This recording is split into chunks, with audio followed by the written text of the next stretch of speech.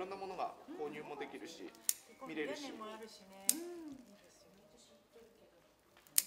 でお祭りみたいな感じでお酒も飲めるし物も食べれるしっていうイベントにするんであのぜひぜひクラフトフェアの2日間遊びに来てください。今年はいつですか？2627かな。最終土日。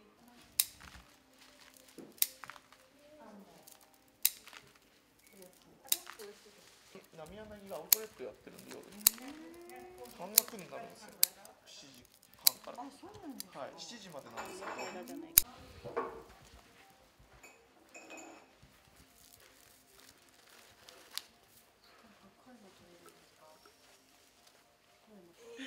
矢沢さん何色？糸。コン。コンですか、紺がいい。はい。はいそれは何ですかね？これが友になりますね。あ今切ってあったところの下の部分になるんですけど要するに押さえるってことですか？その、はいこれで巻きつけていく感じですね。あのしっかり最後締めていくっていうはい感じ押さえながらこれが持ち手にもなるっていうところになってくるんで。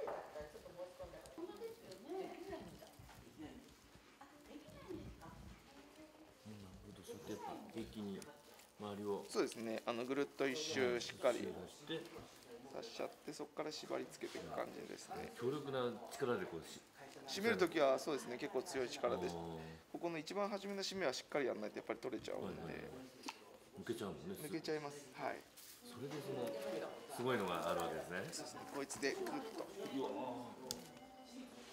今のやり方すごいそう締めることではいポキッと折れるんだね一回。あのー本当に折れちゃうと折れちゃうんで。ああの折れる寸前のところですよね。それもえっ、とほうきもろこしそうです。の茎茎はい。要はこれのが生えてるのが、はいこれがこんな感じで生えてるんです。で普段は大きなほうき編む時はこれをこう編んでいくんですけど、はい。これはワークショップ用でちっちゃい穂先を生かしたいので一番柔らかい部分ですね、うん。なんでこれであえてくっ取ってこっちでくっつけるっていう形でこれは作る感じですけどね、またそこで折り返すんですね。はい、ここからがポイントです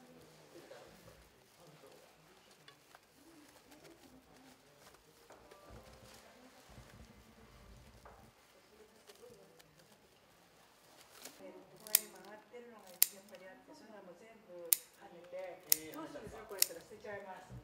えー、もったいない。もったいないですね、もうね、やっぱり。これ本当に作るだけじゃなくて本当にその材料を栽培するっていうところからそうですねそこから始まっちゃうんで。えーっと。同じ色何色がいいですか？そうですね。おおき赤っぽい色色が赤っぽい色うん赤でいいですか？じゃあ、はい買いに行って木買って組み立てて作るわけですよ。ね。ガラスに。そうそうそうなんですよ。でこのスイートの歴史を紹介。はいこんにちは。長野インターネット放送局と申します。はいこんにちは。こんにちは。今、えー、松本の、えー、とここはスイートワークはいスイートワークですね。に来ておりますけども、はい。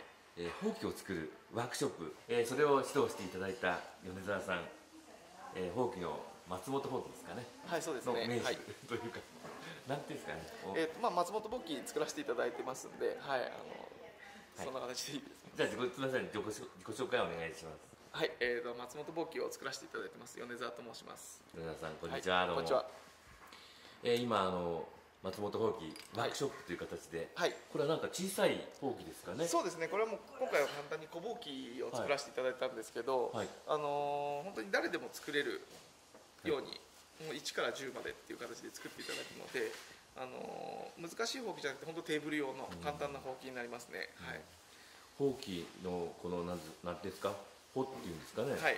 これはななんていうものでできてるんですか、えーとこれはほうきもろこしっていうイネ科の植物でして、もろこしなんですね。そうですね、もろこしの茎と葉っぱで、はい。あのもろこしがならずに稲が1本上に2メートルぐらいになるんですけど、はいはいそれで、あのー上のてっぺんの部分の稲だけを取ってで乾燥させてほうきにするっていう形になってますね、はい、なるほど、まあ、そのほうき、えー本当にこれ手間のかかる作業だと思ったんですけどもはい、意外と1時間ぐらいでそうですね。ね。皆さん結構集中して初めは、ね、皆さん賑やかに作ってるんですけどだんだんだんだん集中してもう無言になって作っていくんで、うん。はい、楽しまれて皆さん帰っていただいたんでよかったと思います。まあ、このほうき、まあ、小さいっていうことでいろんなはい。この、えー使い道があると思うんですけど、はい。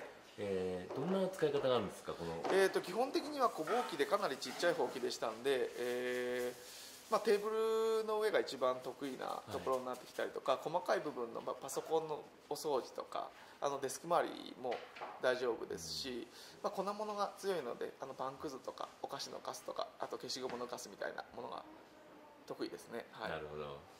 じゃあ米田さんの今胸にそうですね。あのこれは、まあ、お守りとしてっていう形なんですけど、えー、と荒神宝器自体がもともとお守りのほうきでしてあー。荒神様が宿るほうきで荒神宝器って言って昔はいろりとかかまどの神様が宿るほうきでってことを言われてますんで、あのそのこれのもうちょっと大きい版ですね。を作らせていただきましたね。工人簿はい、はい。まあいろんなお祝い事とかに送ったりとかするのもいいということなんですよね。そうですね、あの送ると相手が幸せになるということであのお祝い事に何でもあの新築祝いでも開店祝いでも何でもあの誕生日プレゼントでもいいですしあと妊娠された方とかはもう本当お腹をさすると安産祈願になるというふうに言われてますんで、はい、それはおめでたいほうきですね。そうですね松本ほうきっていうとどんな特徴があるんでしょうか？もともと松本ぼうきで言いますと,、えー、と後人ぼうきのほかにあと手ぼうきと長ぼうきが、はい、ありまして、まあ、手ぼうきの部分でいうと四つ玉の、四つ玉。はい、玉が4つで構成されたほうきなんですけど。どどういう感じなんでえー、とすかね、これがもうかなり古いんですけど、ええ。えー、とこんな感じですね。4つの玉で構成された手ぼうきあになそこがっていますね4つに分かれてるっていうこそうでとなんですすね。ねどっちかっていうと広めのほうきになります全国でも。はいはいはい。これ松本ぼうきの形になりますんで、うん。はい、ほうきっていうとそのお掃除に必需品っていうイメージもある反面はい。まあ今は電気掃除機みたいのがありますよね。そうですね。はい。その辺はどうなんでしょうかね。えーとまあ、基本的に私の中で掃除機も、まあ、必要なものだと思いますし、はい。あのほうきも必要なものだと思ってまして、はい。あの本当にあのほうきだけだとやっぱり難しい部分ってやっぱちりとりの部分ですよね最終的な、そういうところを、まあ、掃除機使ったりとか、うん。っていうぐらいだったらあの使った方が早くお掃除できるんじゃないかなうん。その代わりほうきで上からどんどんほこりを落として隅を全部ほうきでやって最後はちりとりとして使うみたいな形でやってもらうとお掃除がすごい。普通の掃除機だけよりはもう何倍も早くうん。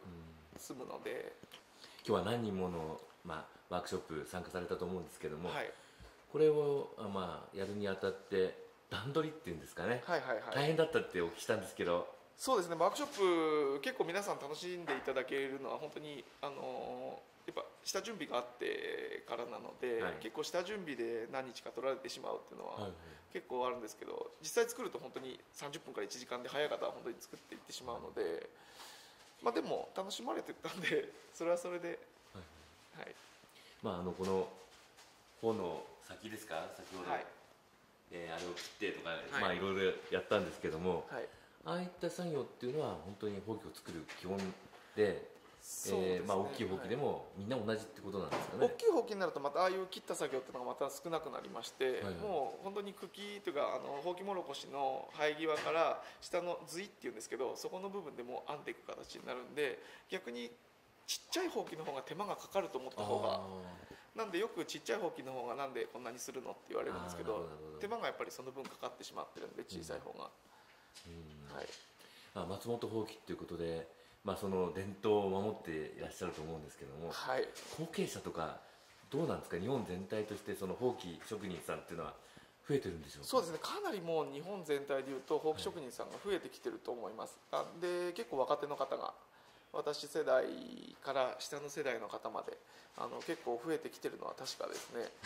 中にはみんなで集まってっていうイベントやったりっていうのもありますんで、はい、ほうき職人さんだけ集まってやるイベントっていうのはどんなイベントなんでしょうか？そうですね、まあ、今度はあの東京の方でやるんですけど、うん。あのいろんな全国の至る所にいろんなほうき屋さんがいるんですけど、うん。そのほうき屋さん集めて、まあ、トークショーだったりとか、あの実演だったりとか販売だったりも含めてやるんですけどそんなイベントをちょっと今度7月に企画してるんですけど、はい。なるほど。はい。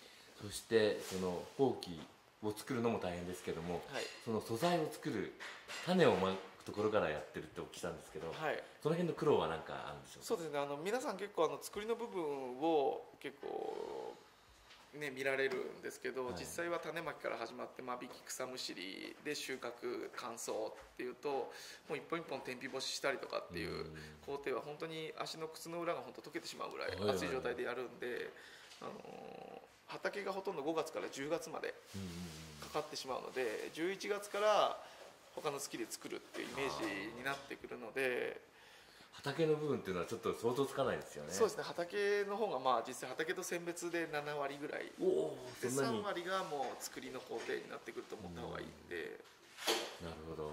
えーとまあ今回あの小箒っていうことで、まあ、小さめのほうきだったんですけども、はい。まあそれは本当に、えー、3000とか4000とかはい。で手に入ると思うんですけども、はい。本当に高級なはい、ほうきもあるってお聞きしたんですけどそうですねあの本当に安いから高いまであのいろんなほうきあるんですけど一番うちで高くてまあ1万あ600070008000ぐらい、その程度なんですね、はい、ぐらいですね。でもなんか人気で、えー、2年待ちとか3年待ちとかっていう聞いたんですけど。そうですね。あのうちが、まあね、なかなか本数が作れないものでして、そんなに何本も作れないのでちょっとお時間かかっちゃうっていうのもありますし穂がやっぱりどこまで持つかっていうのが一番の問題点でして、あの選別すると作れるはずのほうきが作れなくなっちゃったりとかっていうのがあるんで、あその材料の出来具合そうですね材料の出来具合でその年その年でもう全く作れない年みたいなのも出てきちゃう時もうん。中には多分出てくると思いますね、そういった自然との戦いみたいなのもあるあるわけですね、そうですねほとんど自然との戦いだと思ってもらった方がいいですね。まあ、その材料から作るっていうそこら辺にやっぱりこの松本ほうきのその伝統が隠されてると思うんですけどもはいあのまああの手作りというかそこから育てるってやると本当に柔らかいほうきができますんであの、まあ、何十年って使っていただきたいなっていう商品だと思うので、あの電気製品との違いっていうのはやっぱりそこに長持ちするって部分と使いやすさって部分で、まあ、そこに多分作り手の命多分込めてくると思うんで、はい、そこが一番売りなところですね。はい最後に今後どんなほうきを作っていきたいと思ってるんでしょうか？あのーまあ、本当に今お掃除イコール掃除機っていう時代になり過ぎちゃってるので、あのーまあ、伝統工芸だとかこういう民芸品だとかやっぱ手仕事のものって、あのー電化製品よりもっと上回るものがやっぱり中にははい。あると思ってるんで、あのそれを気づいてもらえるような商品ですね、それをまた作っていきたいなと思います、はい。ぜひ夢に向かって頑張ってください、はい、ありがとうございます。ありがとうございました。ありがとうございました